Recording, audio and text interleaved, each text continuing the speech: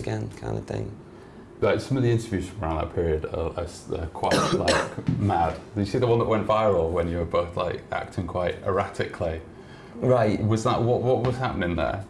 Yeah, I mean, you'd probably think we were off our heads, but we're definitely not. Right. And uh, it's, uh, I don't know, man. I think we were just excited and getting a bit fucking giddy, you know what I mean? So was, was that like a bit of like a put on performance? Because because the album is obviously like a bit of like a, you know, it's very loose and it's a bit of like a party boy type of thing. And I wondered if you were kind of putting on a persona a bit. So like, What, both trying to be like Bowie or something? well, maybe a bit. Yeah, there's worse things you could be.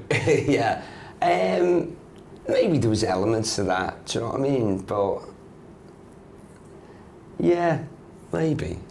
But I don't think it was at the time. I think we were just having a buzz, to be honest. Do you know what I mean? yeah, And I think, um, you know, why not? You know, Yeah. and I think because everyone else, it's quite stiff out there. So Well, totally. if yeah, anything, you know what I mean? If it was, no one would blink an eye. If that was years ago, or Yeah, if you're having yeah, a bit of a buzz, or you, I don't know, letting rip on stage or whatever it may be. You know what. I mean? I just think it's, it's, uh, it's pretty stiff. So that probably really does jump out, and people would make the, you know, it's easy to sort of judge it, but fuck it, you know what I mean? Well, tell, I mean, people moan about how like there's no rock stars around anymore, but like that's what Look that at them It's like yeah, them two silly fuckers. You know what I mean? is.